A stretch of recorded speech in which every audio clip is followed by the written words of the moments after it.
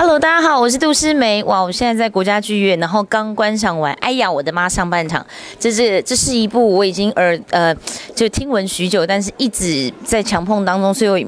没有办法看到的一出戏，但我看完上半场，我个人内心现在非常的澎湃跟激动。我没有想我的男神跟女神可以搭配的如此完美，而且不瞒大家说，我的女神她是一个肢体障碍者，但在这出戏里面完全看不出来，表现的太好了。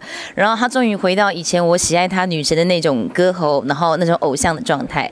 然后我听说五月的刚好在母亲节的时候，然后在桃园的展演中心有加演，所以如果你跟我一样不幸。在之前的演出都没有看到的话，各位千万不要错过五月的加演，好好看的一出歌舞剧，然后非常的有笑有泪，对，然后我很期待下半场继续观赏这么好看的戏，剧院见。